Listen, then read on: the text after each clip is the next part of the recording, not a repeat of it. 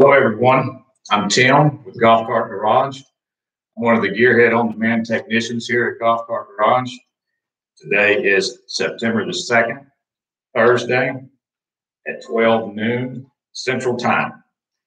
Welcome to the garage. The garage is now open. What we're going to do today is we're going to go over some questions that we get through email and uh, at Golf Cart Garage. We're going to see if we can go over some of these commonly asked questions and see if we can answer some of these questions for you today. Let's see. Number one. This is from Patrick Harrington. Hi, I was wondering how to winterize my club car. I heard that I should charge the batteries, switch the towing mode, remove the black wire that goes to the battery regulator, which I think he's talking about the onboard computer.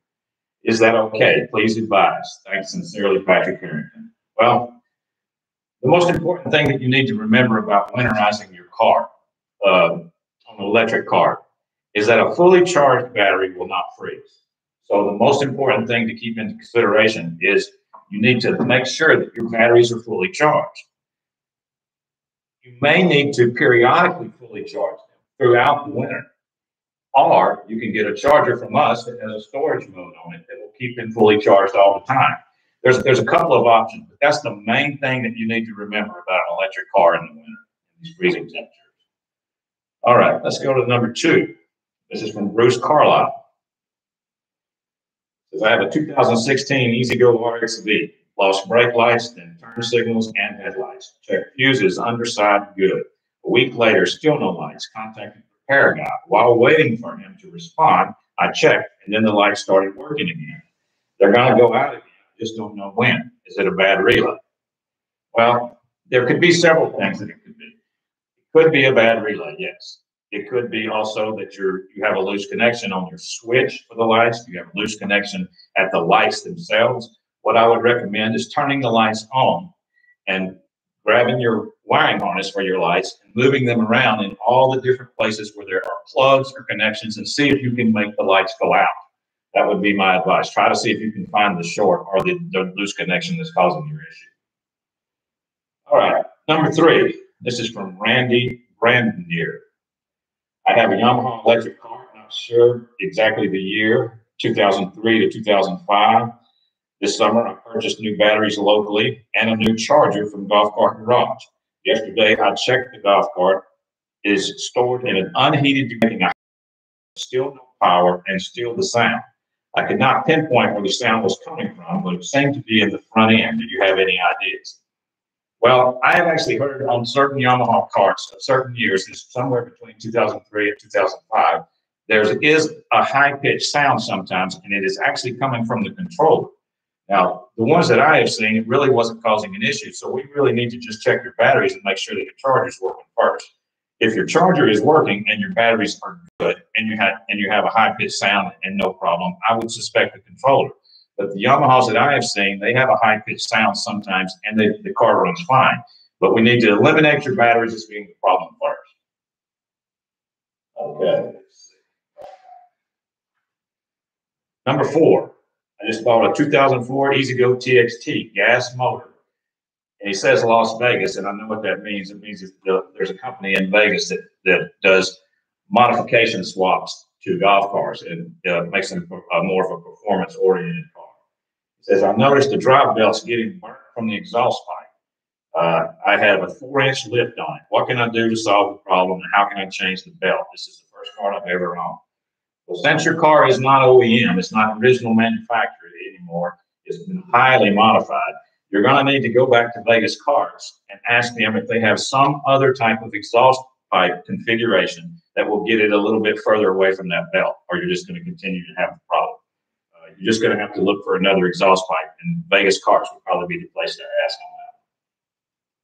on that. Number five is from Robert Bruning. Hello, I recently purchased six inch lift and tires. I had nothing but stability issues, so pulled it and went down to the four inch. The camber is not adjustable and is way off, not drivable. I modded the shock to regain normal camber and still seems the steering geometry is way out on a turn with one quarter inch toe. I want to try a whole different brand and was wondering if you crossed this before, and if so, what brand do you sell that will work. I am a 35 plus year experienced mechanic on industrial auto and last seven years side by sides in marine. I beat the golf cart that was filled. Anyway, some typos here. Well, I have seen that issue before, and I've heard customers say that they had to mod the shock tower. Let me explain what camber is. When you're talking about your front tires, toe in is going to be your front tires are looking at you like this. That would be toe in, toe in and toe out. Camber is this. Camber and caster is top to bottom like that. That's what he's talking about. So if you want advice on lift kits, if you wanted to go with a whole nother lift kit, I understand because some lift kits do not have camber, they're not camber adjustable, some are, some of the more expensive ones are. I would have a, I've seen Madjax, we, we sell Madjax lift kits that have camber adjustment. We sell Jake's lift kits. I've had almost no trouble out of Jake's lift kits, even the ones that are not camber adjustable. They I've had the best luck with. So I highly recommend those two. Question number six from Gene Humphreys. I have a 2004 Yamaha G22 cart that shudders when going up an incline a symptom in an electric car. As a shudder or a stutter. It is almost always battery related. Now, what I mean by battery related, it's not necessarily a bad battery, but battery related, like a cable, a, a battery cable connecting one of the batteries to, to the other battery could be just barely hanging in there. And then when it gets under a load, like you're describing, going up an incline, it will it will shudder and start stuttering to go up that load. Uh, it could be anywhere. If, if you have a mechanical forward reverse switch, the loose connection can be in there. It could be any of your cables. It could be one of your cables going to your controller, one of the, one of the main cables going to the solenoid. There's several places that it could be. It might not be obvious when you just raise the seat and look at it. You might have to look for it. But most of the time, a shudder or a sputter is a battery related incident somewhere in your in your electrical grid. Let's see. Number seven, I have a 2001 E-Z-GO TXT with new batteries. They are fully charged, but the cart is still lacking some power. Any suggestions on what to look at next? Well, my first question would be, how do you know the batteries are fully charged? I'd like to check the batteries. If your car is low on power, that would be my first place that I would look. Uh, I would need to do a a series of small load tests on the batteries in order to figure out if the batteries are the issue. Anytime someone comes to me with a low power issue, that's the first thing that I have to eliminate is the batteries as being the problem because one bad battery can cause all kinds of, of symptoms in a golf cart. All right, let's see. Number eight. I have a 2006 Club Car Precedent that shuts down while driving. I have changed the MCOR, but it's still intermittent. Batteries are new, and so are the connectors. To recover and keep it going, I push the throttle and it goes. What might be the next part to try? Well, my first thought, if it shuts down while driving, would have been the MCOR. But if it does this, if you if your cart, uh, this is a symptom of a speed sensor. If you take off, the cart takes off normally and then just boom and shuts down to a crawl. You know, it doesn't shut down completely, but it shuts down to a crawl. Now that's a speed sensor issue. A speed sensor is the device that's mounted on the end of the motor in a precedent. So you could look, that, that can be your problem there. Let's see, number nine, this is from Johnny, Johnny P. I left for vacation and left my golf cart in my friend's garage. However, I didn't leave it plugged in. Once I returned, the charger would not come on. The charger is good, so my batteries must have been too low. I followed your video, but I'm not getting anything. Probably operator issues, but it's frustrating. I put my portable charger on the batteries. It will charge for three minutes. Then I got the empty battery with clamps icon on my charger. According to the charger manual, it says there's an issue with the battery. One of my batteries keeps saying polarity issue. I reversed it and it says reconditioning. It stays that way for four hours and nothing. I need help. Thanks, John. Okay. I think I understand this question. And the first thing I would need John to do is you need to get a voltmeter, a working voltmeter, handheld voltmeter, And I would need battery readings off every one of your batteries because you, if you, if you have some polarity reversing there, we need to clear that up. I need to see how many volts are in your entire pack and make sure that you don't have some kind of polarity issues going on with positive and negative there because of what you described there. It kind of sounds like you might. So we need to get your your series connections of your batteries, positive, negative, positive, negative. We need to make sure that it's all correct and that you don't have a battery that actually reverse polarity on you like you're describing because that can happen. I've seen that before. So that would be the first thing we would need to do there. Okay, number 10 from Jim Wellman. I have a 1990 Yamaha G2 gas cough car. When, in, when I begin to accelerate, I get this jerking from the engine compartment until I get rolling, then all is fine. I'm thinking it's the drive clutch. What do you think? How much is an OEM drive clutch, and do I need a special tool to remove the original clutch? Well, if you're getting a jerking on takeoff on a gas car, any gas car, not, not just a uh, Yamaha G2 1990, but any gas car, the clutches would be the first place I would look.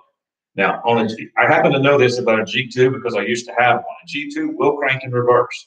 So what you can do on a G2, you can put it in reverse. It's just halfway in between forward and reverse. It's going to be neutral. I, I did I say reverse? I meant neutral. We'll crank it neutral. You put it in neutral, raise the seat, crank the car, and watch the clutches. If it is a, if the jerking is because of your clutches, you'll be able to see it when you're looking at the clutches. I mean, when you rev the when you rev the car up. Put the car in neutral, crank it up, watch the clutches, and if there's a jerk right at the beginning, you'll see the drive clutch or the driven clutch. You'll see it jerk, and that's what will be causing your jerk. And, and you do need a special tool to remove the drive clutch.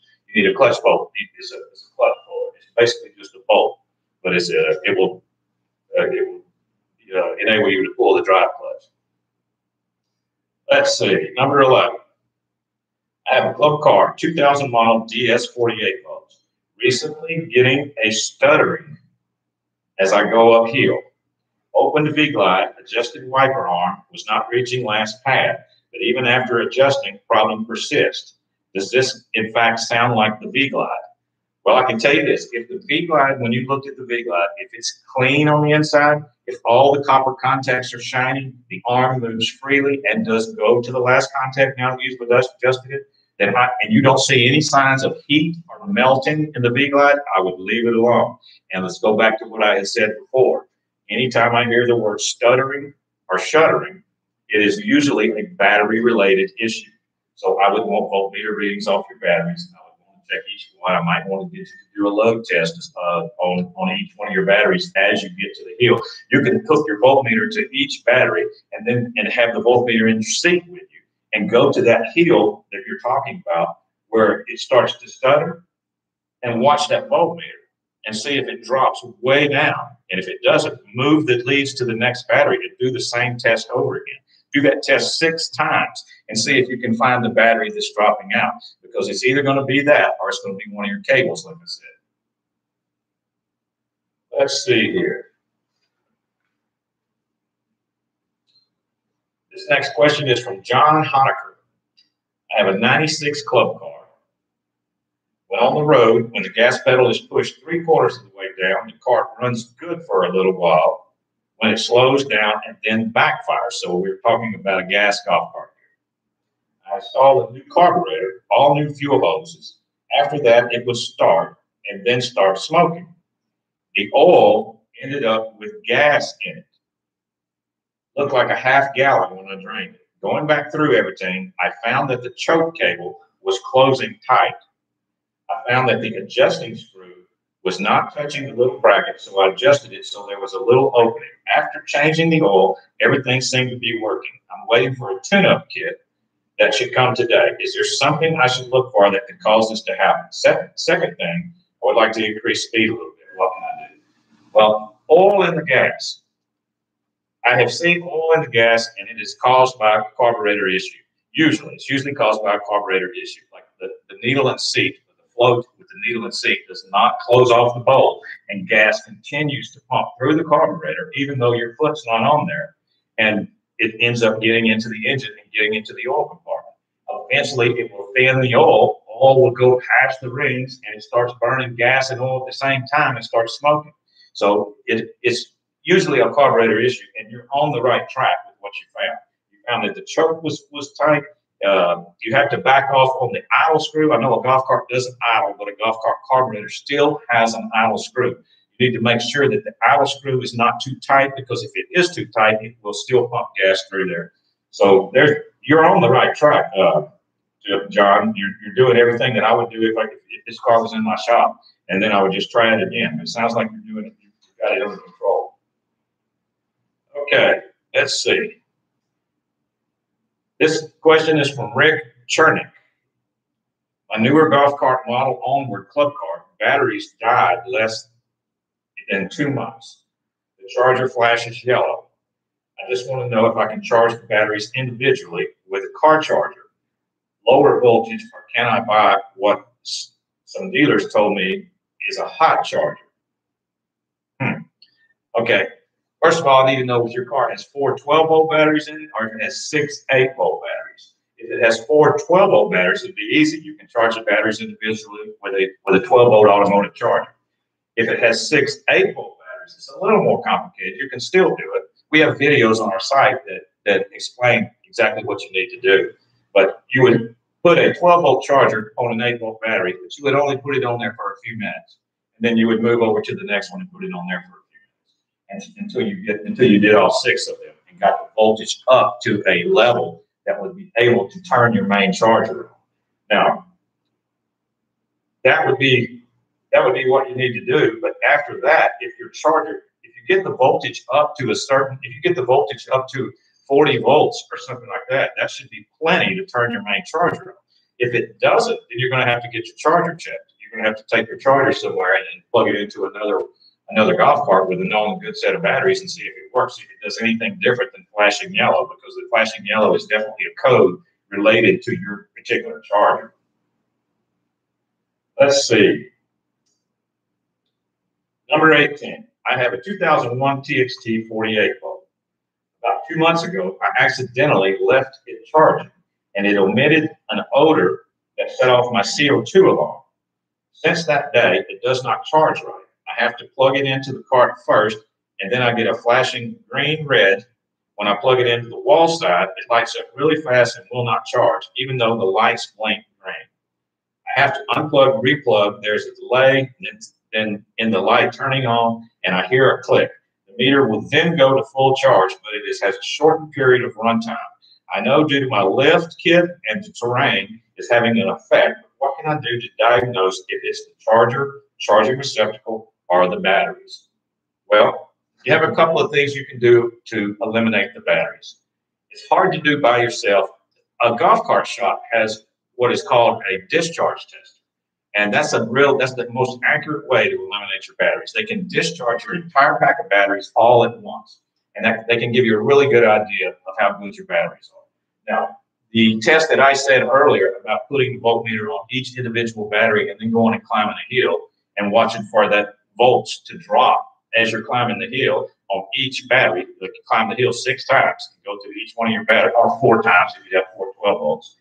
That that's a that's the the cheap way to do the load test, you know. But it, but it's also effective, also very effective. You can find you can find a bad battery that way.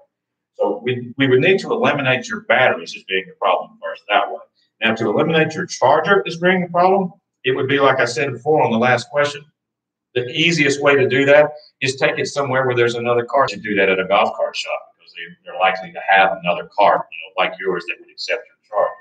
So that would be my recommendation there. I would jump on the charging receptacle, like you said, last. That would be the last place I would look. Uh, it's most likely going to be the charger itself or the batteries. Okay, let's see. This next question is from Ricky Wilson. Changed out my batteries, put a ground wire from charging port to ground lead on batteries, so now charger would work. Batteries are showing 53 volts on voltmeter. The cart will now run about five yards and stop. Wait a few minutes and it will move another five yards much further. What is causing this? It's about to drive me crazy. Well, I would have to ask you some questions about your car. Again, you didn't tell me what type of electrical system or what type of car we're talking about. The only thing I know is that it's 48 volts. So if this is a regen cart, if this is a regenerative braking cart with a tow run switch under the seat, that means that you have a speed sensor on the end of your motor. One of the previous questions was uh, something about, you know, I, I, I was suspicious that the speed sensor could be the problem. Well, I, this kind of sounds like it with this one also. It could be your speed sensor, but I need to verify your electrical system first. Okay. Here's another one from Chris. I'm trying to figure out what's wrong with my 1998 Club Car DS. It runs fine on flat ground, but it's starting to kick, slam, chug about halfway up some larger hills in my neighborhood. It's like the current is for a split second, stopping and going to the motor, causing it to kick and just go back and forth. Now, what I said earlier is going to apply to that too about the uh, battery related issue. I mean, when I said stuttering or shuddering, I would think that maybe kick, slam, chug might be another example of shuddering or stuttering. So it's a, probably a battery related issue, my advice would be to check all your cables, check your main power cables, make sure they're clean and tight, make sure you don't find a loose connection anywhere, and uh, and just go from there. Because I have to eliminate the batteries as being the problem first. Uh, I really think that it probably is that there's going to be a battery related issue on that one also. Let's see. That's going to be it for the questions for today. Uh, we uh, this again, depending on uh, how you liked it and everything, or how much how, much, how popular it gets. Let's see.